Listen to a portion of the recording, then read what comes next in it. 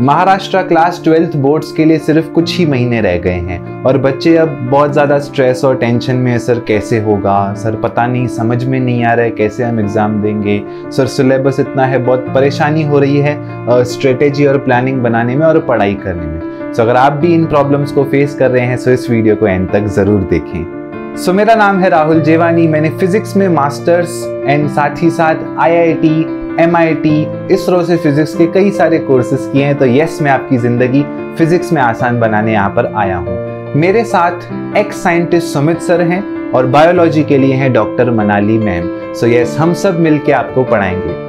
हम ला रहे हैं इंडिया का पहला 2022 महाराष्ट्र स्टूडेंट्स के लिए एक फ्री बैच जिसका डेली टाइमिंग है चार बजे से पाँच बजे फॉर फिजिक्स ये सारे लेक्चर्स कंडक्ट किए जाएँगे नून ऐप पे, जो कि पहला सोशल ई लर्निंग प्लेटफॉर्म है।